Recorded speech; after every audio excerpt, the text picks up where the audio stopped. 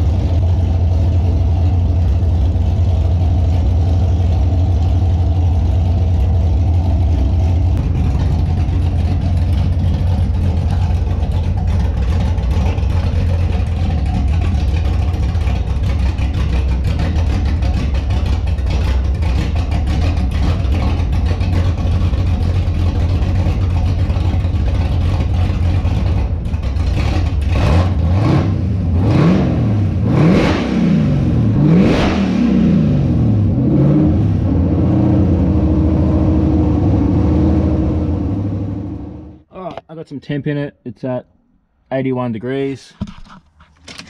Doesn't seem to idle when it's warm.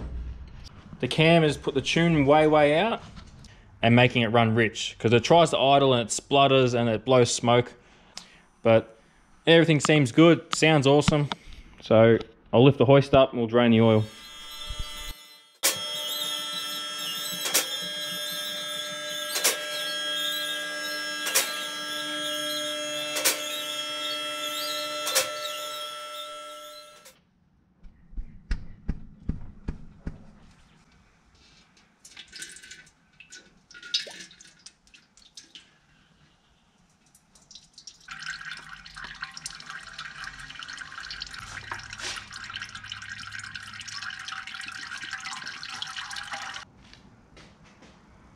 One, two, three, four, five.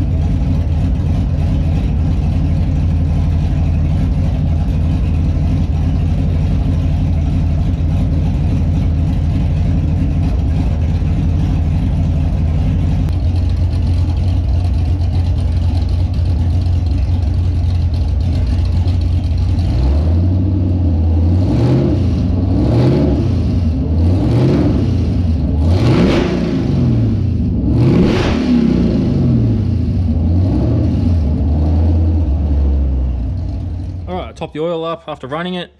It's still not idling when it's warm, so I just put the PCV and crankcase breather setup back on just to see if that had a difference in it. So I'll just start it up and just try it again like this. All right, well that didn't make any difference. I didn't think that a cam this small would have upset the idle that much, but I don't know. I don't tune these things, so I guess it does. Um, so I'm going to turn my attention to making a catch can for this. Uh, what I was originally planning on doing was using this real estate here and just getting, say, a three inch bit of pipe or bigger and just run the lines into it, have a filter at the top. Exactly the same as I've got in my ute. But I thought maybe I might just get a little bit fancy on this one and try and make get a little bit more volume. So I want to plan on joining two bits of three inch, keeping one one complete, and take a big chunk out of one, weld it to it, and then I can use this as a wall and drill holes through it so that it acts like a bit of a wall, like a baffle in it, and I'll have the filter on this side, and then the lines will come in to this side. So this side will probably fill up with oil, and then it'll breathe out through this side through the filter, and probably put a drain at the bottom on this side. So I'm just throwing ideas around at the moment.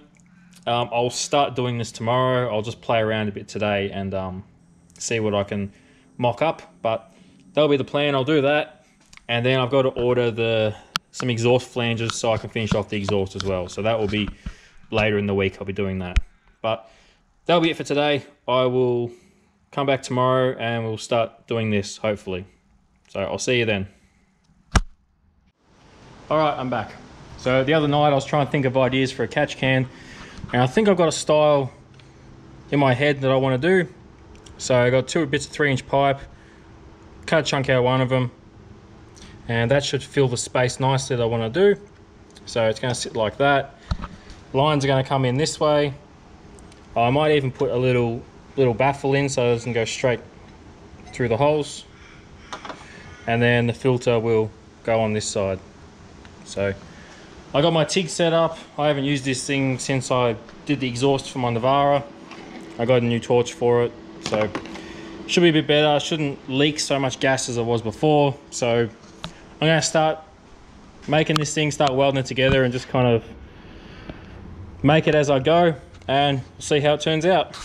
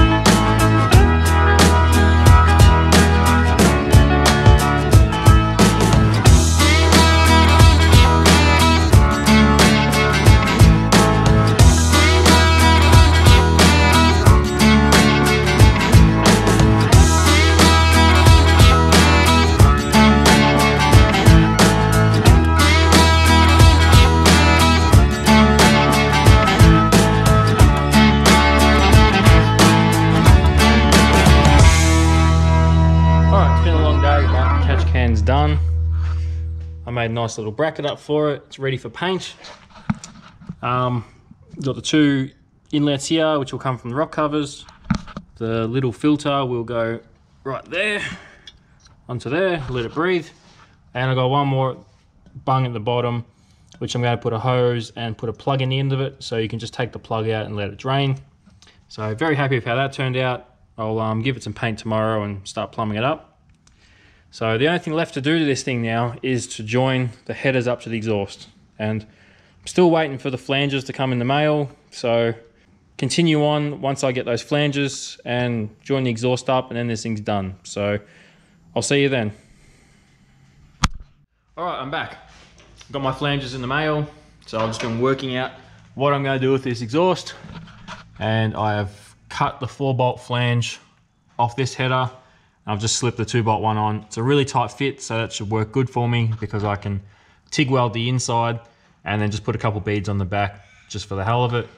Um, more importantly, that means I'll be able to do this one on the car because I can't get this one out. This one I can. I can pull the coils and rock cover and stuff off and just get this one out. That one I can't get out. So I can weld this one on the bench, but that one's on the car. Um, right now I'm going to cut these pipes up. To cut them roughly next to the O2 sensor and then work and then trim them back bit by bit until they fit perfectly and then we'll start welding them all up. So I'll do that off camera and I'll bring you back when I'm ready to start welding. All right I got this cat on. That's bolted up tight. I shortened it just enough so that it fits perfectly I'll put a few tacks on this and then I can take both these bits off and weld them on the bench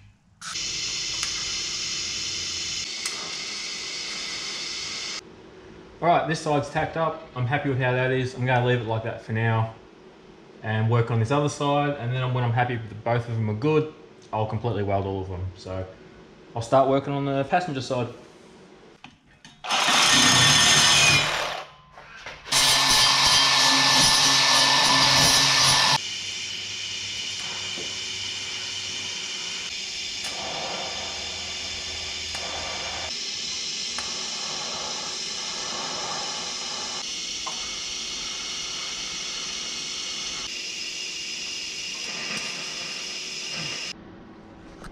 All right, both cats are tacked in place now. Um, this one didn't line up as well here, so I had to cut it here and angle it a little bit, but that's not too bad now. So it's all tacked. So I'll take these guys off, weld them on the bench, get this header out, weld out on the bench as well, and then undo a bolt, lower this down, and weld this one on the car.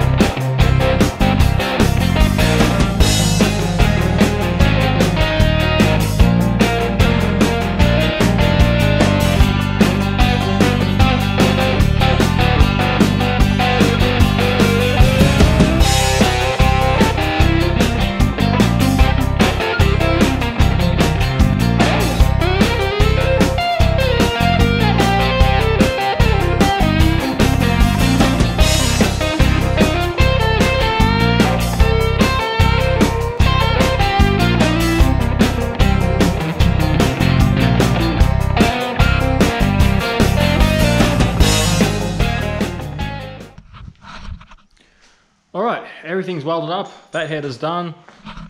That head is done. Two cats are done. And I welded up this part here. So this GoPro's about to go flat. I'm gonna chuck it on charge, have some dinner. I'll come back, we'll put everything back together and hopefully everything still lines up, nothing's warped or anything stupid now. And hopefully able to fire it up, see what it sounds like on full exhaust. All right, got everything done up top. Got the headers bolted up, got the coils back on. I'll plug that one back in. Otherwise I'll forget.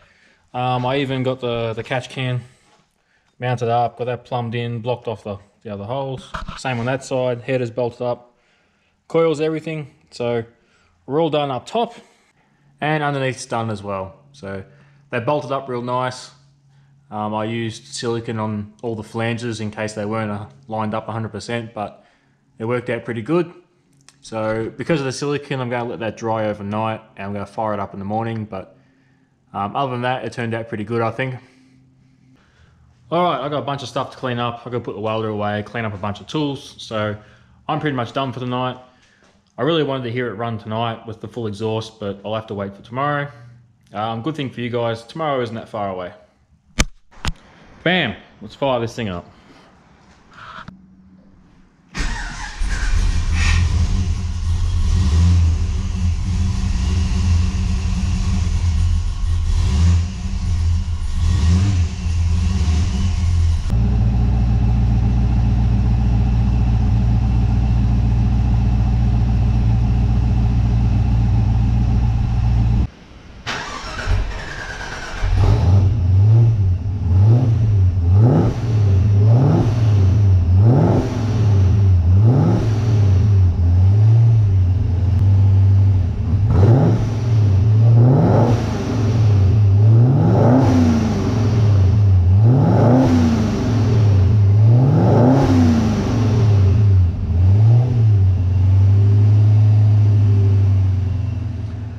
Still doesn't want to idle when it's warm, but that must just be in the tune.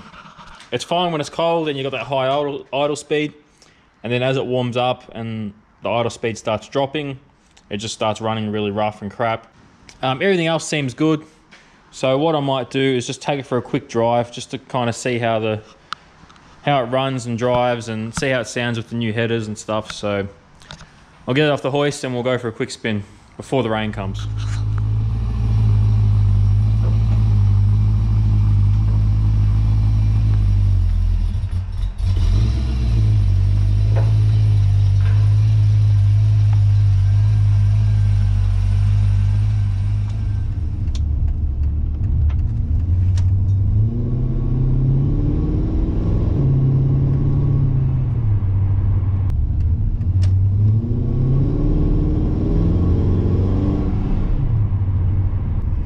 Definitely needs some tuning down low. It's a bit surgy and runs a bit crap, but as soon as it comes up a little bit, it um, runs fine.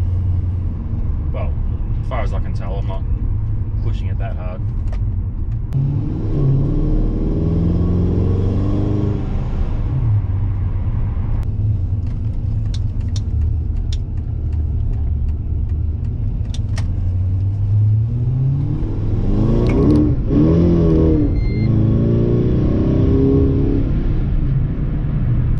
Well, it's definitely a lot punchier than before.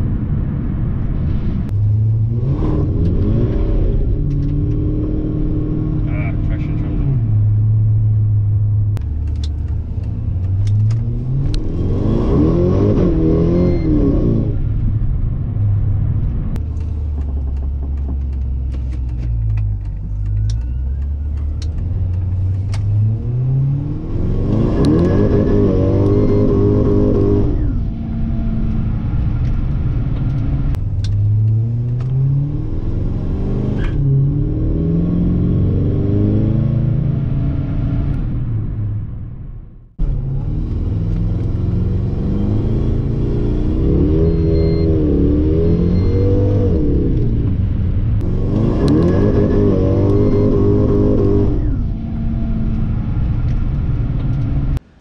Okay, wow, what a difference. I was trying to take it easy, but I did get a little bit carried away. This thing is just so much more fun to drive now. Before, it was kind of a bit sluggish and a bit gutless down low. You would have to rev it to make power. Now it just has more power everywhere. It's just angry, snappy, just so much better. It better than I expected it would be. So Really happy about that. And it's only gonna get better. Once it goes on the dyno, it gets its timing optimized, get the fueling evened out. And I think even Tony wants to raise the limiter to 7,000. So the more you rev it, obviously the more boost it's gonna make. So they'll make more power as well.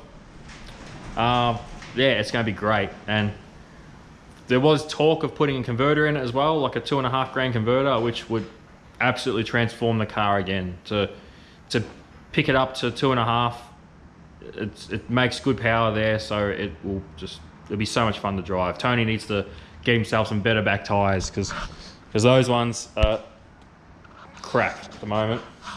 So very happy with how this all turned out. Um, I've just got a couple bash plates and stuff to put back on. Just go over everything, maybe pull a plug out, make sure everything's happy, check fluids, blah, blah, blah. Um, from here, once I'm happy, from here it's going straight to the workshop where it is getting tuned. So with any luck, we should have some dyno numbers fairly soon. If it goes on the dyno before this video gets posted, I'll put them at the end of this video. If not, I'll make another video for it. But yeah, I'm really I'm happy with way with how everything's turned out. All right, that's it for this episode. I'm really looking forward to seeing how it goes on the dyno. And when the drag strips open back up, I'll go twist Tony's arm and we'll go race testing again. Uh, hopefully this time we'll have some drag radials on the back and possibly um, with a high stall converter, two and a half converter, which will make a big difference to it. Like with the power and with with those few things, it you know it should be like a low 11 car at least, maybe even a high 10. I don't know, but it's it's going to be good. It's going to be a lot better than before anyway. So that's it for this episode. Thank you for watching. I'll see you next time.